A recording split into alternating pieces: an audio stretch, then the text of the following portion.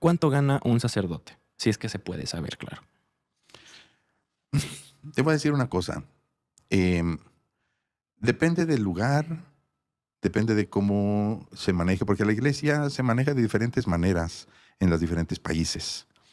Aquí, sinceramente, yo nunca he, nunca he estado dentro de la estructura sacerdotal de Guadalajara o de México. Em, yo personalmente vivo, en primer lugar, el salario, por así decirlo, que me dan, no es en, realidad, no tiene el tamaño de un salario. Pero el asunto es que yo allá, en Estados Unidos, cuando yo estoy al servicio de una parroquia, la parroquia tiene la casa para el sacerdote. yo no voy a pagar renta, yo tengo mi casa, eh, yo puedo contratar a una persona que me cocine, que me limpie la casa. Eh, ¿Y esto lo paga la iglesia? Paga la iglesia. Eh, la comida me la paga la iglesia.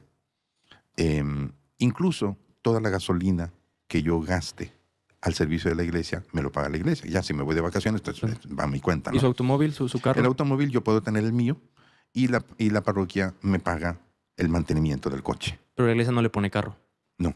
Okay. Yo lo pago con mi Sí, usted lo compró y. La iglesia puede ponerme carro, pero si es de la iglesia.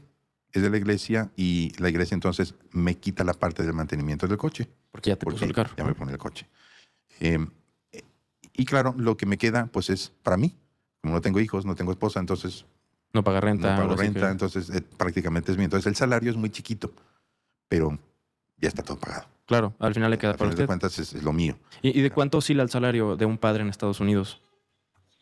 Pues oscila entre los dos mil y los cuatro mil dólares al mes.